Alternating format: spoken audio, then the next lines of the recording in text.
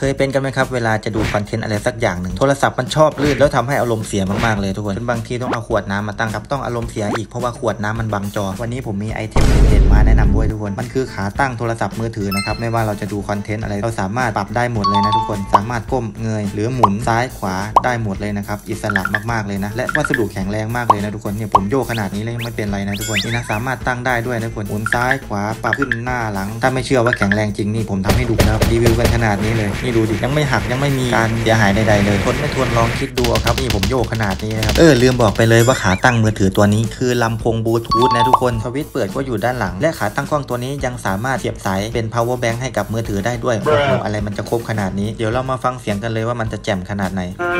ว่าเจ้าสิให้มันสั่นเออแทง